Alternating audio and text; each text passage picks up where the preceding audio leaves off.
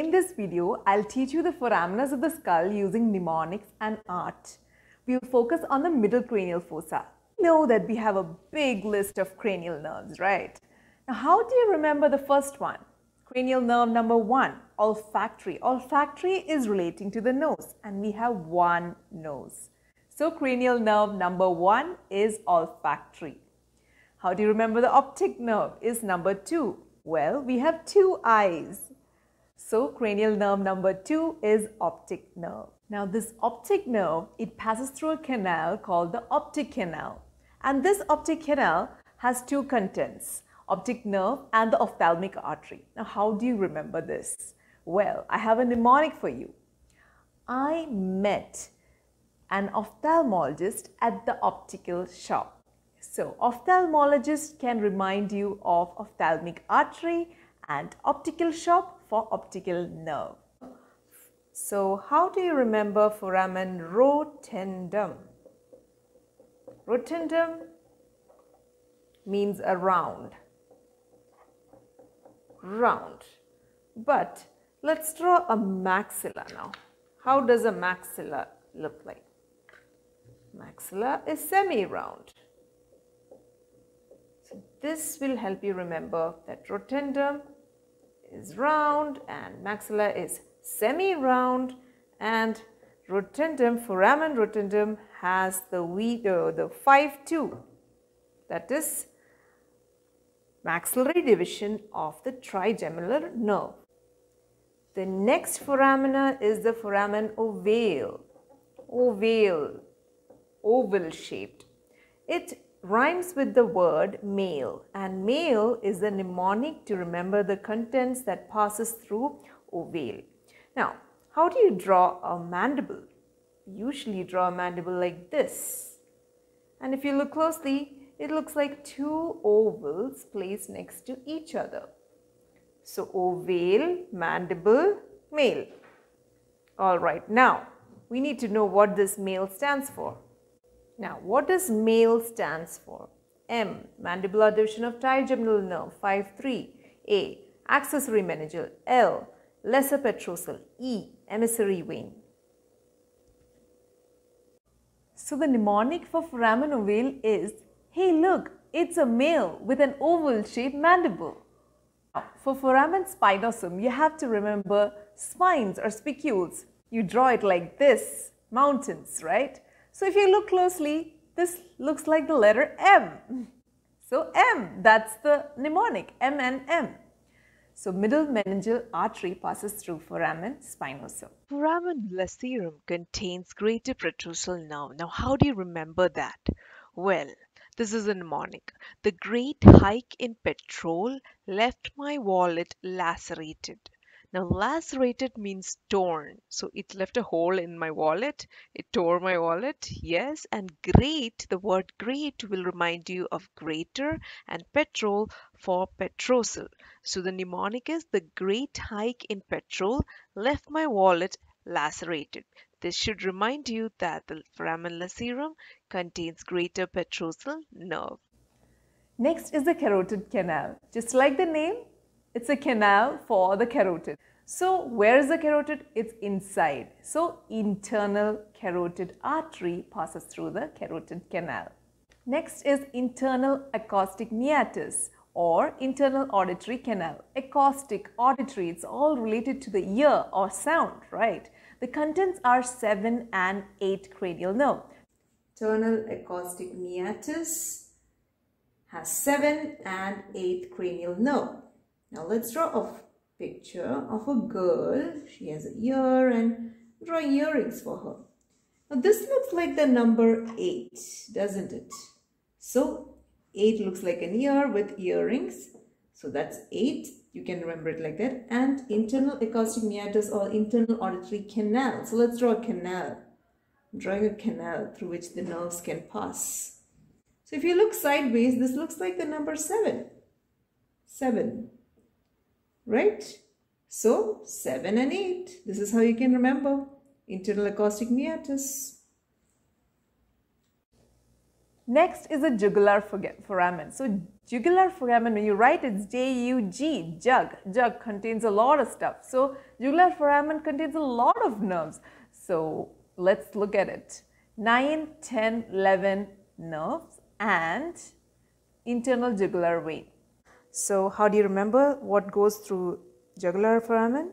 See, these are the Roman letters. Here, if you notice, 1, 2, 3, 4, 5, 6, 7, 8, 9. From 9, 10, 11, from 9th, the letter X comes in. So we need to remember when does the letter X come in Roman numeral?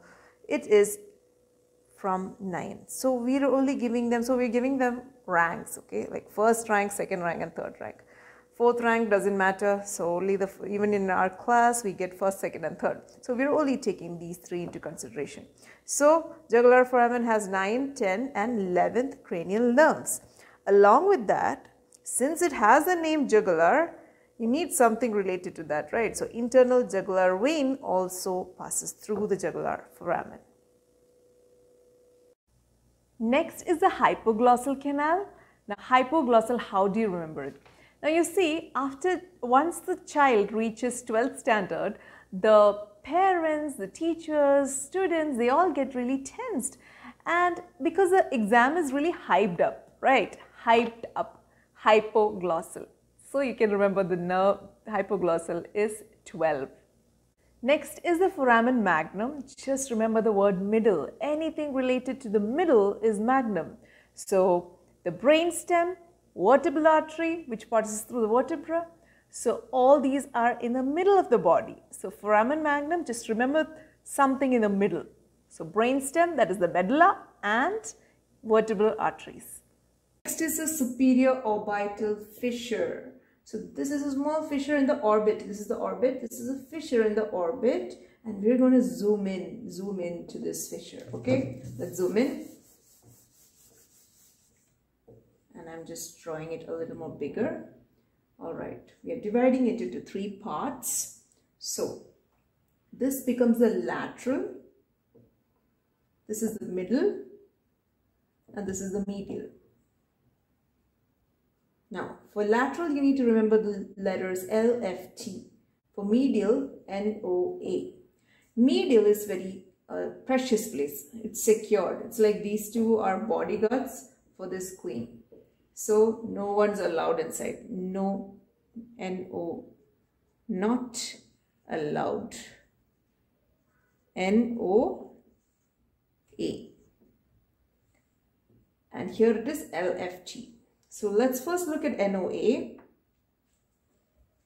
So this is NOA. N stands for nasociliary, O for oculomotor, which is cranial nerve number 3. And last one, A is abducens, cranial nerve number 6.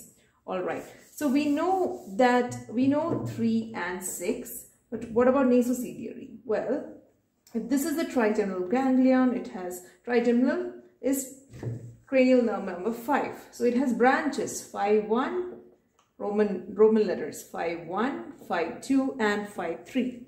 Now 5, 1 is ophthalmic, 5, 2 maxillary, remember rotunda maxilla, yes and 5, 3 is mandibular, ovale mandible, yes.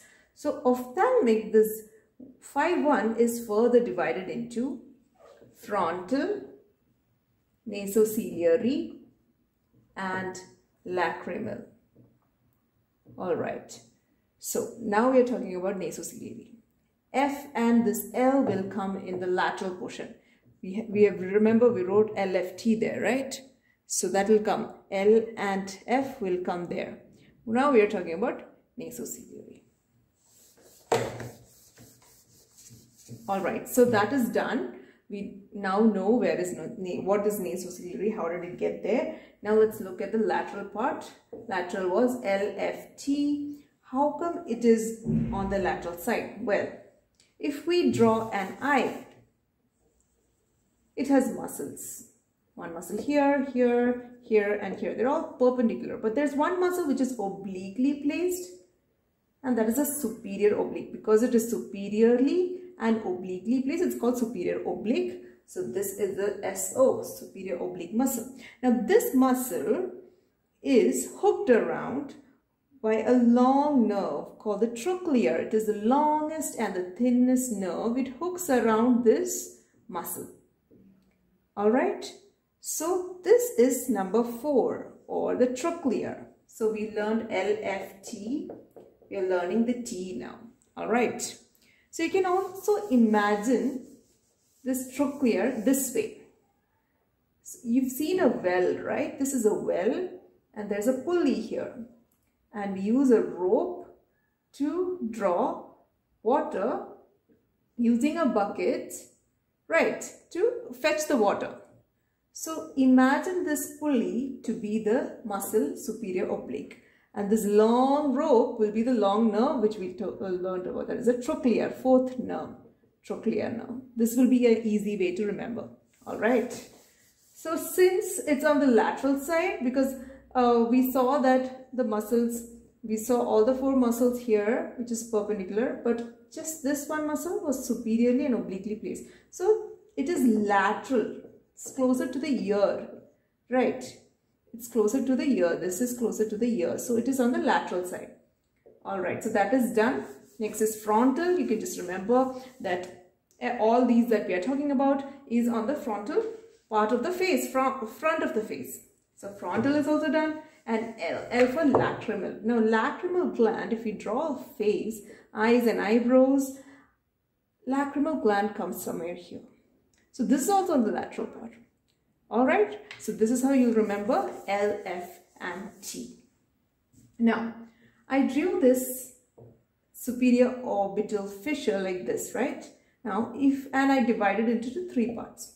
Now, if I draw a square and divide it right through the middle, this becomes a superior part and this becomes an inferior part, right? So, Additionally to what I've mentioned, like LFT, NOA, there are two more veins. There is a superior ophthalmic vein here and an inferior ophthalmic vein here. Now this is the medial part. This is the middle, this is the lateral and this is the medial. Alright, so it's closer to the nose. And there are some other, um, other nerves here which we'll talk about later. I hope you enjoyed the video. So don't forget to like, share and subscribe and click the bell icon to keep yourselves notified every time I upload a new video. If you have any doubts, please contact me at the email given in the description. Thank you. Bye.